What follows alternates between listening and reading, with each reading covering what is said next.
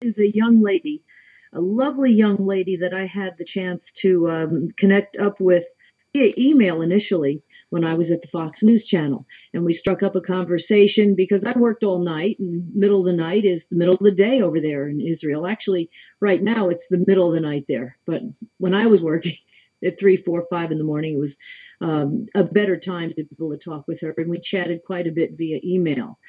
Anyhow, her name is Hagit Canary, and I have a hard time pronouncing her name properly. She finally corrected me. It's like a guitar, Hagit Canary. She's in Ashdod, Israel, which is in southern Israel. And while we were talking, bombs were actually coming in. And she said, uh, she talks about how she has to prepare. And in light of what happened in Boston, this is bringing things a little bit more clear, uh, clearly, I think, into the minds of Americans. Unfortunately, I hate to say it, um, it's probably not the last time. And things in our way of life are, are, are drastically changing, as I've, I think, in the last 10, 15 years, certainly since 9 11.